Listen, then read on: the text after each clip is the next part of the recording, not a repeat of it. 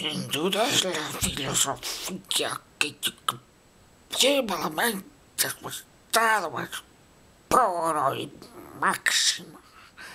Sin toda la filosofía la que nos acerca más a la perfección, al conocimiento, al saber. Es la filosofía.